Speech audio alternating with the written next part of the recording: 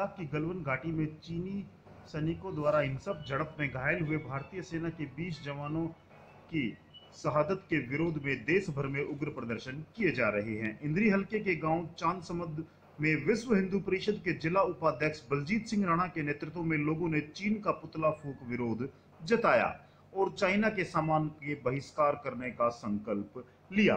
Video में आप देख सकते हैं, युवा एकत्रित हुए विश्व हिंदू परिषद के और उन्होंने चाइना का पुतला फूक कर चाइनीज़ सामान के बहिष्कार का संकल्प लिया।